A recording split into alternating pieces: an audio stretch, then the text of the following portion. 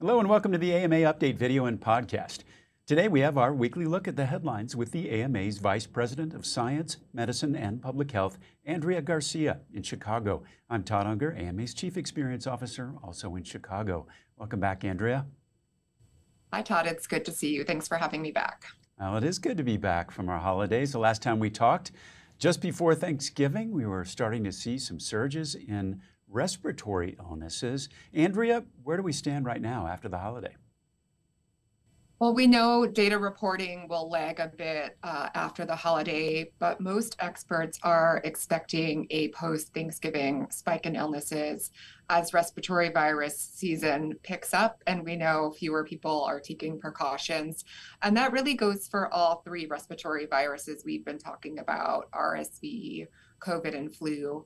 Um, as you mentioned before the holiday, we were already starting to see signs of surges. And according to CDC data, in the weeks leading up to the holiday, there was um, a sharp rise in RSV cases. And if we look at the CDC's most recent flu view report. Uh, the same can be said for flu, uh, most notably in the South Central, Southeast, uh, Mountain, and West Coast regions. These increases are really expected to continue in the coming weeks, and we know possibly flu season can last into the spring of next year. Uh, outpatient respiratory illnesses in general, which is a fever plus cough uh, or sore throat, is uh, above the baseline nationally for the third week in a row, and the number of weekly flu hospital admissions is also increasing.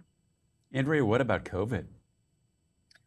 Well, prior to the holiday, the highest rates of positive COVID tests uh, were seen uh, right here in the Midwest, as well as in the Western states. And uh, nationwide, COVID hospitalizations were up, but still far below those uh, pandemic levels.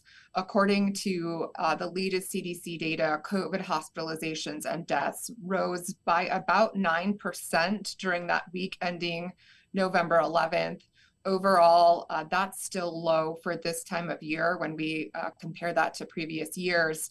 Uh, earlier this week, though, CDC did release an update on BA286, which is a COVID variant that we first uh, saw the agency reference back in August. Uh, that variant is uh, projected to now compromise about 8.8% of circulating variants, and that's nearly triple the estimated prevalence of two weeks ago. Uh, at this time, uh, the CDC says um, the expected public health risk of this variant, including its offshoot JN1, which we talked about last time, is low but the agency will continue to track it as it steadily increases. And as we talked about in previous updates, tests and treatments are expected to be effective against this variant, including JN1. Um, and at this time, it's not possible to know whether BA286 produces different symptoms from other variants. Um, but generally, we've seen similar symptoms across variants. And we know that uh, in general, symptoms and how severe they are uh, generally depend in part on a person's uh, individual immunity. Well, Andrea, given that information, would you say that it's time to worry? I think the problem right now is the lagging vaccination rates for all three respiratory viruses. And we know that health officials and clinicians continue to urge vaccinations to head off another severe respiratory virus season like we experienced last year. But so far, those vaccination rates are not promising, uh, whether it's vaccine fatigue, misinformation, barriers to access. People are just not getting vaccinated in the numbers that we would have hoped for. Um, and that we know could lead to crowded emergency departments and hospitals later this winter. Well, let's talk a little bit more about vaccination rates. Where are we at this point? Well, CDC is actually making it easier to answer that question. And they recently created a weekly COVID 19 vaccine dashboard and a weekly RSV vaccination dashboard that helps ensure we're getting that accurate and timely information about vaccination against respiratory viruses.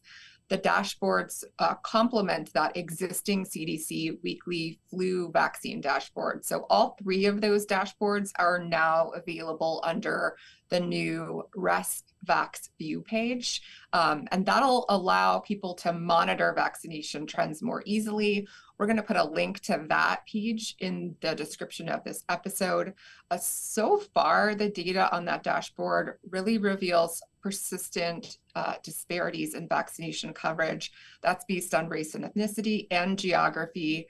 And it shows that COVID and flu vaccination remains low among children and pregnant people, uh, which is concerning. So, CDC is continuing to call on physicians to help improve those numbers, urge their patients to take advantage of the safe and effective immunizations as soon as possible. Absolutely. And Andrea, with COVID in particular, people can also test, of course, to reduce spread. And you mentioned earlier the tests we uh, have remain effective at detecting the new variants. However, for a lot of people, home test pri- prices have become a problem and, in fact, prohibitive once insurance stopped covering them. Do we have any options here? Yeah, the good news is the federal government is uh, now offering a new batch of free COVID tests. So each household can order four more free COVID tests to be sent out by the federal government starting this week. As with those previous five rounds of government issued COVID tests, orders can be placed online at covid.gov. Uh, people who didn't take advantage of the last offer, which was back in September, can still order the four rapid tests made available then for a total of eight tests. It's really easy to order them. The only information you need is your name and an address to send them to. No health information, health insurance information is needed. Uh, I think it's also important to note that although some of these tests might arrive with expiration dates that have passed, the FDA has extended the dates for most approved tests. So users can check that true expiration date of the COVID test on the FDA's regularly updated site. And many of the reasons why testing is helpful um, are that it can narrow down which virus you have, which we know can help inform available treatment options. Oh, well, that's good news. And everybody order those free COVID tests, covid.gov. Find out more information. Andrea, you know, to your point about testing, we know that catching these viruses early is really important. Over the weekend, we also saw multiple headlines about an outbreak in China. It feels a little bit like deja vu to many of us. What's going on there, and do we need to be concerned? Those headlines were triggered by a reported surge in respiratory illnesses in children in recent weeks, and news reports and social media posts really caught the attention of the WHO and members of ProMed, which is a, a, disease tracking site run by the International Society for Infectious Diseases um, that health officials monitor for early warnings of potential emerging diseases. Uh, those reports did prompt the WHO to formally request that China provide information about the potentially worrying spike in respiratory illnesses and clusters of pneumonia in children. Uh, the WHO said that Chinese health officials provided the data it requested last Thursday during a teleconference, uh, and that showed the increase in hospital admissions of children were due to uh, diseases including bacterial infections, RSV, influenza and the common cold virus since October. Uh, on Sunday, the country's health ministry confirmed this data, saying that the surge in illnesses uh, were caused by flu and other known pathogens, not by a novel virus. Well, I guess that's uh, good news. It sounds a lot like the mix of things going on here. So I'm just going to summarize. Does that mean we don't have something to worry about at this point? Well, based on what's being reported, it seems we don't need to be concerned about a novel pathogen at this time.